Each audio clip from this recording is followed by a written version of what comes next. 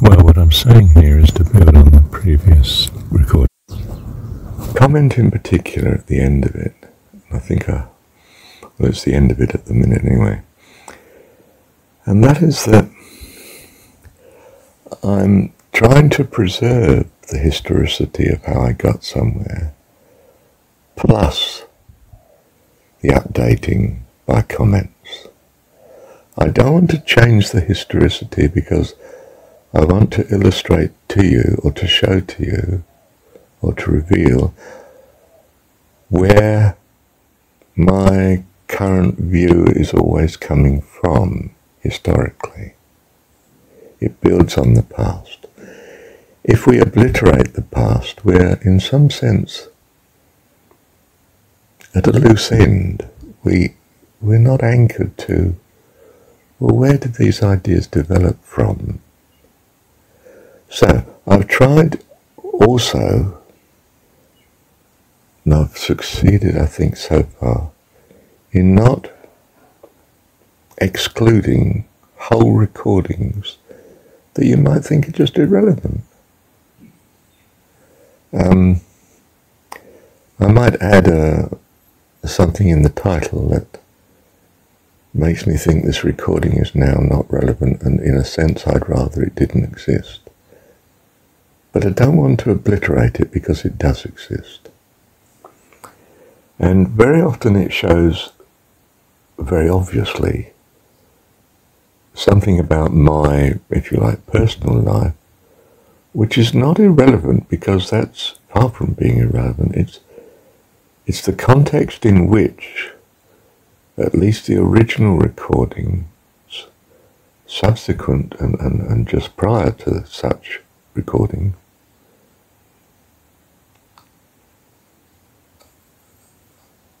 are conceived in. You know, I'm not some uh, simplistic voice of God speaking from out of the void, you know.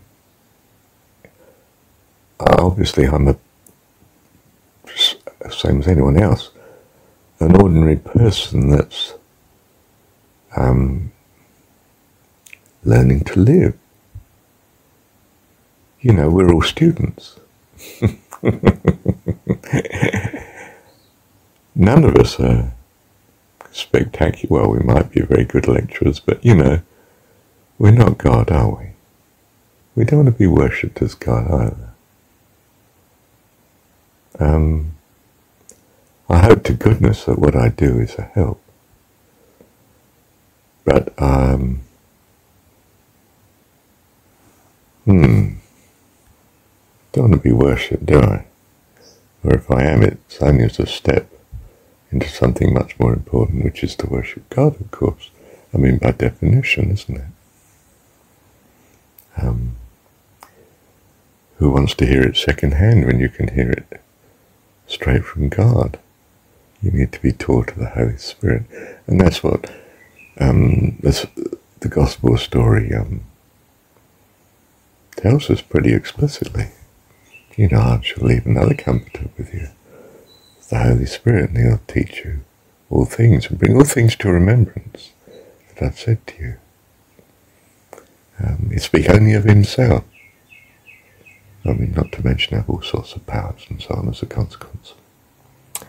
Now, so I've even tried to leave in some of the um, talks that I've attended, which are not me talking at all but gives you an idea of the sort of world in which I'm coming from. By world, I, you know, I'm, I'm, I'm meaning the spiritual content of my life at the time when I'm recording. What's happening to me as a person, um, which may not be at all impressive. Um, or you may think, Oh, no wonder he's got such mixed up ideas, having association with that group or this group or those ideas or that sort of fanaticism or. Well, fair enough. You might be right.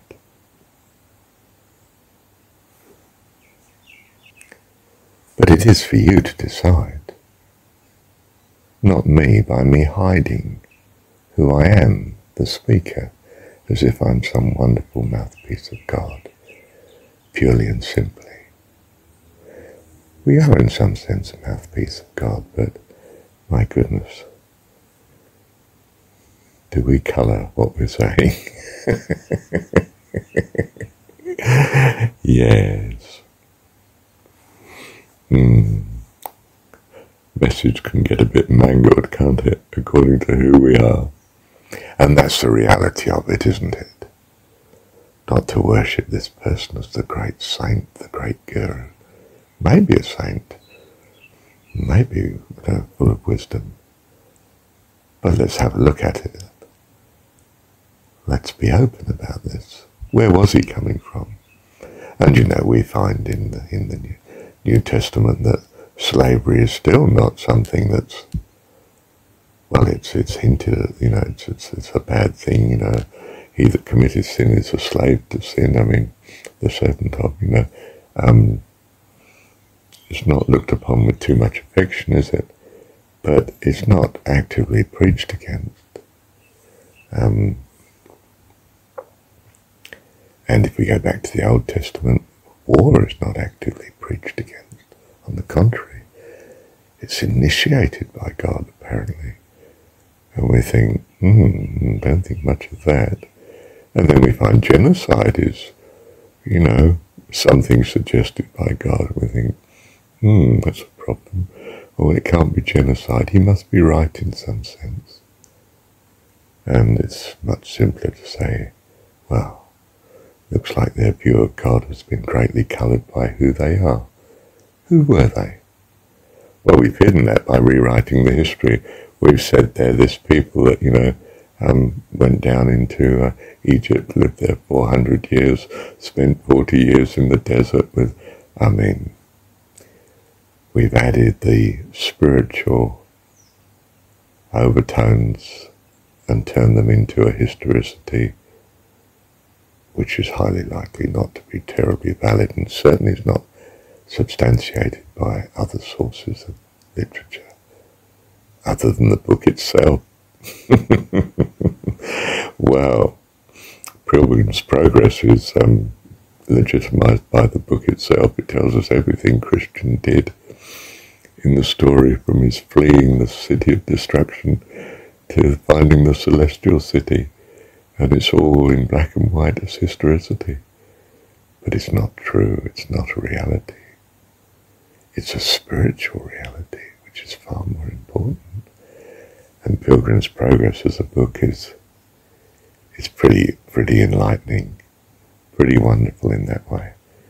But you read it knowing it's not historicity, and because of that, you treat it with some measure of I'm reading fiction. And that detracts awfully from the truth that this the story is delivering to you. So,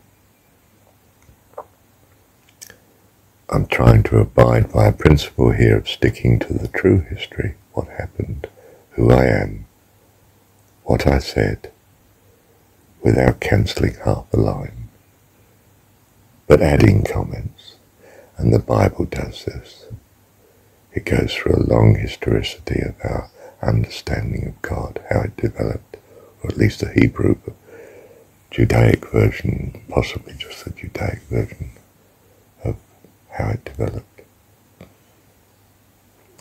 And then we have an upgrade, quite honestly, and that's Jesus.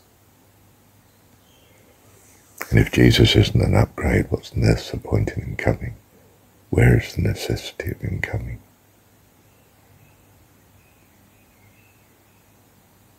Well, we hold that, of course. Jesus is the very epitome of guidance. Well, you hold that if you're Christian. Well, you'd think you would. but in fact, so many Christians, people that own the name of Christian, very earnestly, actually don't give preeminence to what Jesus said. The bulk of them seem to give preeminence to what Paul said or at least the bulk of the nonconformist church does. Perhaps the bulk of the Catholic Church gives preference to. No, I think it's still what Paul says because, well, what the letters say anyway, because like the pastoral letters very much set up, or can be seen to set up, the Catholic Church. Hmm. Whatever. I try to leave in something that indicates the world from which I'm coming from, which may seem very strange, even in a few years' time. it needs comment. And in a hundred years' time, well, very strange. And in a thousand years' time, well, there'd be probably something much better to read. Although there might not be. I mean, things like um, the Old Testament have lasted quite a long time, and uh, the Buddhist scriptures, the Bhagavad Gita. Do I think my recordings will last that long? Well, you might say it's presumptuous to suppose that, but it's not an unacceptable presumption not with God. God is updating his teaching to us always. And the thing is not to be too stuck in what the teaching was, but to attend to what the current lesson is. Wow. I didn't expect that to come. Hmm, I like that. what do you think? Do you like that? Did you know the past is very important? The lessons we've had in the first year, the second year, the third year, the fourth year, but we're saying the fifth year. And it's these lessons that are crucially important now. And sure, we need to have learnt the previous lessons. They've had input into what we're doing now, but we're not going back to relearn, you know, year two just a bit more thoroughly, unless we really feel you've missed something in which case we'll not go back to it, we'll deal with it here and now, in the present. Yes, that's how we teach, isn't it? So perhaps that's why I'm doing what I'm doing. I'm not changing what you did in year one, two, three, and four, five, and six, but I am doing what we're doing now in year seven. And so it goes on. Well, I didn't teach on young ones very much. Oh, except, of course, I was a dad forever, bringing up three children quite separately in, in time. Hmm. And I, yeah, hey, I've taught um, the older kids. I've um, homeschooled my, one of my sons, younger. Um, I've lectured, of course, students. Um, both what we might call sixth form or year, you know, the sort of, um, what is it, 16 to 18 year age range. And then, of course, I taught them at university. And at university, of course, we've got, well, every age group in the end, because, I mean, your staff are teaching each other, aren't they? I mean, we have seminars, we used to have seminars together and so on, staff seminars, teaching doing our research with each other.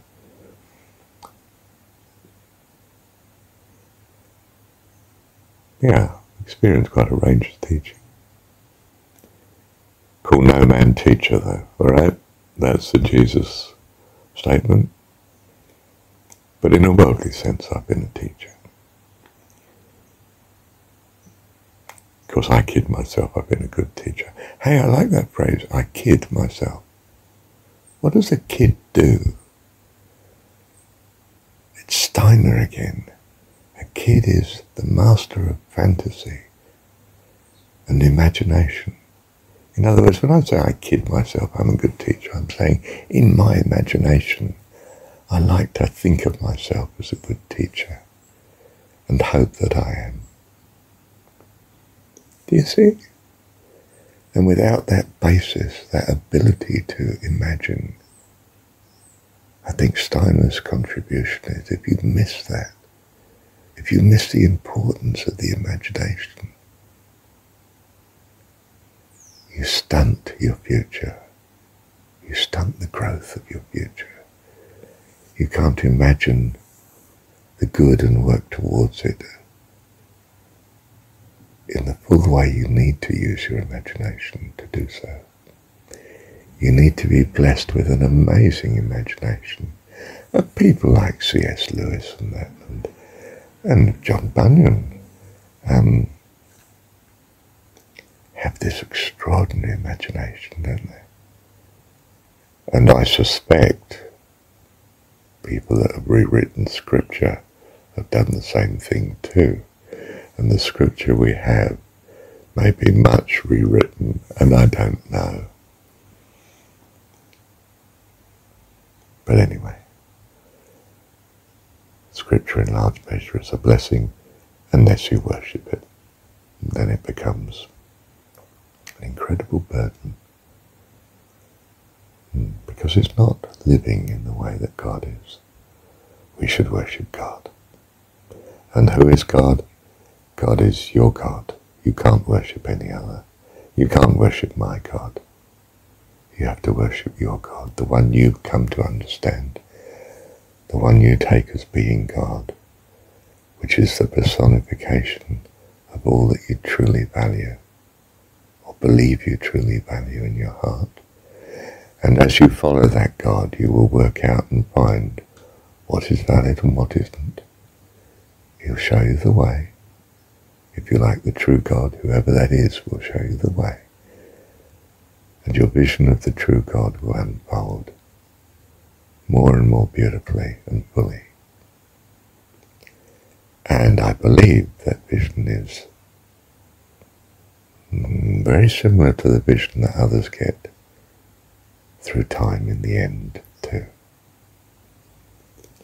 That in some sense it will lead to Rome. Rome's unfortunate connotation here, but all roads lead to Rome. Our Christian view is not that. Christian religious view is that some paths all lead to hell. Well, not following what you understand to be God leads to hell, yes. Or if your God is one of, well, you know, even if it's war and destruction, I don't know about Stalin, but I could say something about Hitler from the received historicity that we have. And that is he marries um, his um, partner before they suicide, according to the story, the historicity that we now have. Which is the great desire to do what he understands to be good and right. Something that he didn't feel he could do during his lifetime because it would have betrayed the people's vision of the Fuhrer as he saw it. Look, I'm not a Nazi, I'm not pro the atrocities, my goodness. How could I be? But I'm not dismissing this person because he's done what the world understands to be evil.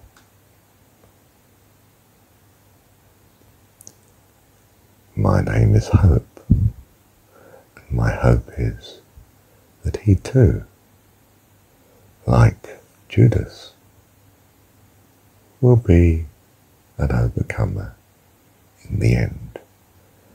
And you might think this is utter ridiculous stupidity and foolishness.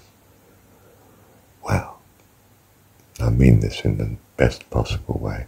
You are most entitled to your view, and you will live it out, and I will live my view out, presumably until we find otherwise, if we ever do.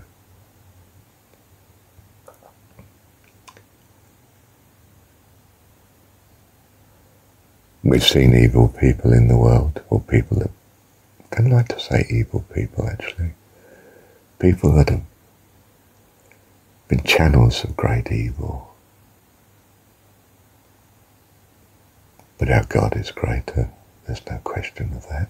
And perhaps we're all in agreement on that. Our God is greater. Your God and my God is greater.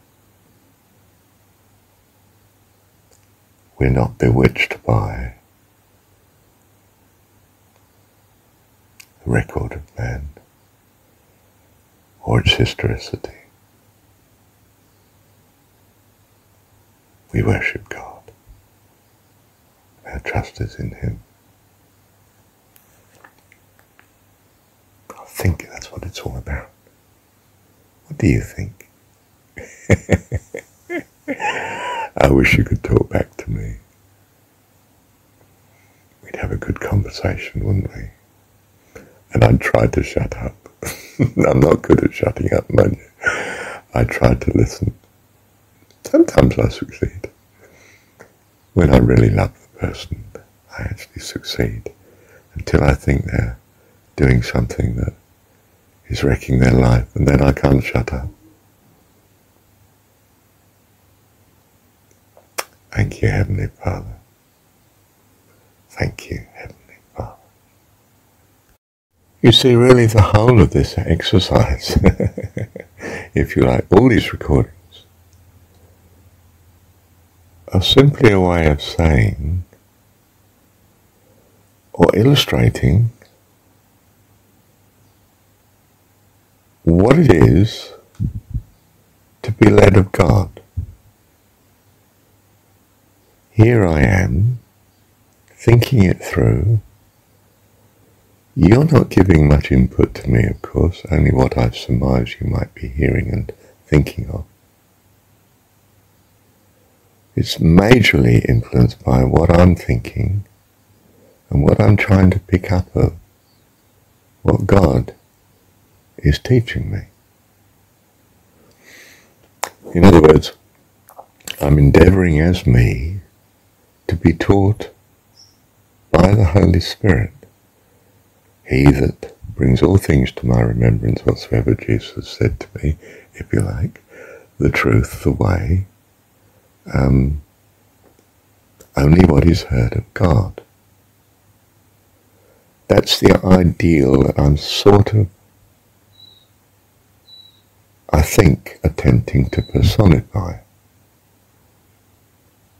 The one being taught by the Spirit of God. So I'm delivering these recordings, trying to be as open and unaffected by you in a sense, but wanting to relate it to you. So I, I am trying to anticipate how you're, what you're making of this all the time. But I'm getting no feedback. because of course you're not present to the actual recording. And if I do get feedback, well then I add a note. Um, you know, if I think that's going to be helpful to do so. And the note may include all the feedback and so forth.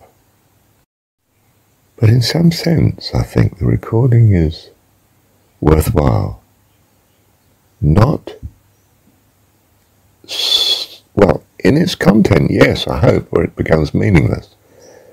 But majorly in simply being, this is the way to be taught of the Holy Spirit is to think things through with God. And if you voice it, in this case I'm not writing it, I'm recording it. If you voice it, if you record it in some way, it becomes example of the way, how to learn of the Spirit about God's way for you in your life. And of course, obviously, I'm doing that because my desire is that you be blessed accordingly. I'm also doing it because my desire is that it blesses me, and it does.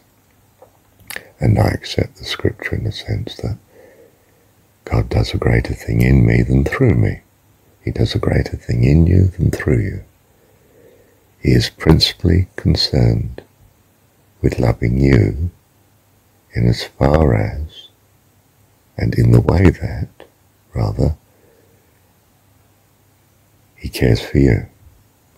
So, we get someone like uh, Kriyananda who the fact that he's suddenly, you know, got an employ, uh, uh, a member of his group who's a qualified and experienced accounting accountant doesn't mean to say that he's going to use him as an accountant because his spiritual life might need him to be doing the washing up or teaching. You know, giving public talks for the organization. Could be anything. Whatever's next step necessary in this member's development is what Kriyananda tries to do. Even though he needs an accountant, he's still not going to use you as the accountant because that's not what you need. What you need is experience perhaps in so-and-so. Do you see? And God is, how much more is God like that? What he allows you to do is not because God needs you as an accountant. He can produce an accountant out of thin air if he wants. What he's doing with you is what you need to be doing, is the ideal, isn't it? Since he's God and loves you, I mean, we have to assume that context, don't we? So I'm aware that these recordings are blessing me more than it's blessing you. But my motivation is, yeah, no, no, my motivation is to do that. It is to bless myself, of course. And, uh, my blessing is also, perhaps I can only say also, in wanting to bless you as well. Of course. In as far as I can conceive that. But that has to be in my imagination. In fairness, even how it's blessing me has to be in my imagination first or I won't do the recording. You know, if there's no imagined future, there's no hope of such future. If there's no hope of such future, I don't do anything towards it. Do you see? So in some sense it's necessary in the very plan. And dare I say it now, how much more with God? Let's pursue this for a moment. Yes, He's created the universe and He's created us for the love of us. But the greater motivation has been He had a need. And He conceived of how that need could be met. Namely, a situation in which He had a family from not having a family, a heavenly host from not having one to having one which is probably by now infinitely vast anyway, but he's continuing the story perhaps. Do you see? And it's fulfilling a tremendous need he had, hence the tremendous creation. He didn't make it without purpose. He has a great desire to have this wonderful family just as we do. Well, I think many of us do. Perhaps it's not in all of us a desire to have a wonderful family, but hmm, hmm, certainly is in some of us, isn't it? Well, that's how I'm conceiving of him at the minute, anyway. And I think that's what I'm picking up from Jesus. His name is Father, our Heavenly Father, righteous, wonderful, Wonderful, Father. Mm.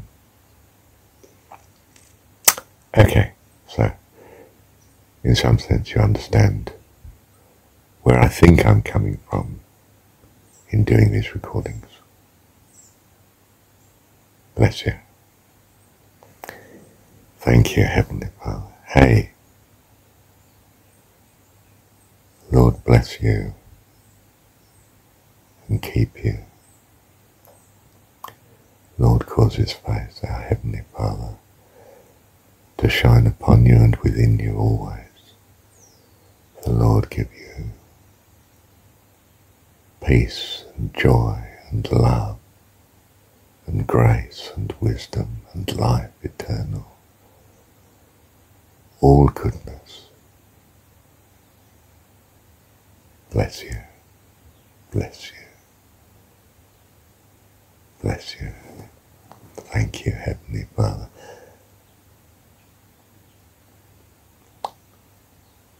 And I'll add a note.